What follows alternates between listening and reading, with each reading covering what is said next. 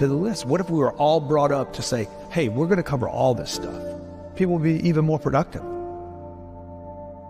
What would you say are the top three ways, the best ways to multiply money then? Get rid of it. You got to get rid of it.